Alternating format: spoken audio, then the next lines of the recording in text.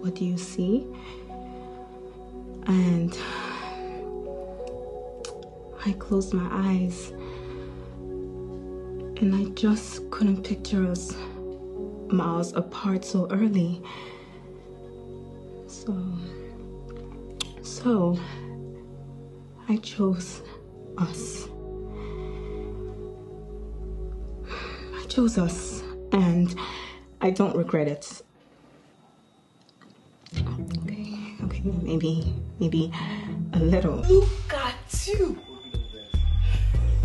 What do you want to? Get the both of you just chill out for a minute. You just hibernate for your corner there. Hibernate?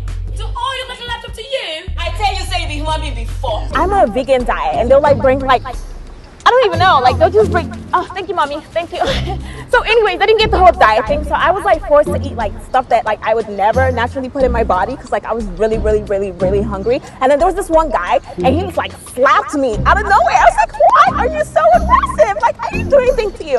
And then after that, oh, oh, and then the voice came back. The voice came back, and then like, uh, I don't remember exactly that part. And then uh, there was like a bus, and then they came. Wait, he came, he came over there, and then he came and he was like, put your hands up. And I was like, ah, this is so exciting.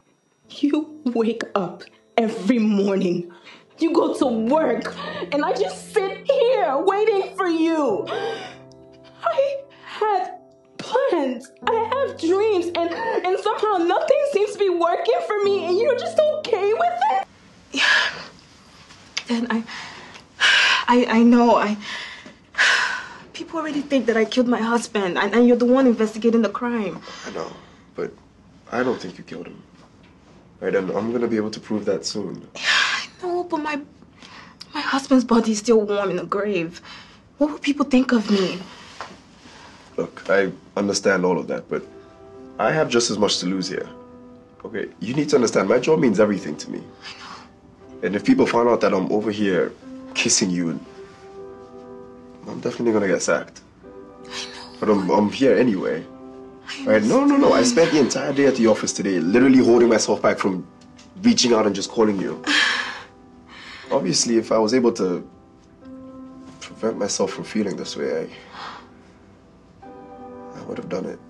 Oh, gosh, I I just I hope this doesn't ruin my life. So what do we do now?